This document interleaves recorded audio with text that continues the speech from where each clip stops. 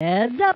This is Michael Savage in the Savage Nation. Now I'm gonna cut the mustard, and I'm gonna cut it a little too sharp, and they're gonna call me a racist, but it is the social promotions. Cause the social promotions, we got President-elect Barack Obama's. Now, cause the social promotions, we're gonna see the wholesale firing of competent white men, the wholesale replacement of competent whites. We'll be back here on the Savage Nation, where only white men are allowed to cut the mustard, and cut it sharp.